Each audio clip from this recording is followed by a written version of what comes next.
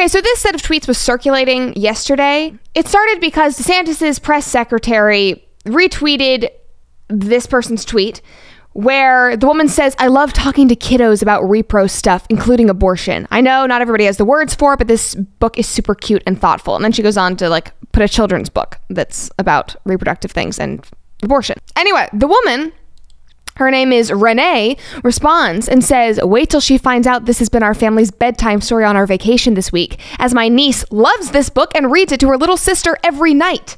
Our family was created by abortion, adoption, and parenting decisions. I love our family. All the worst things are boiled down and put into children's books these days. You're lucky I didn't kill you isn't the sweet bedtime story you think it is. Yeah, what message is that sending across to your children? That they are disposable? Like, this is not the cute flex that you think it is.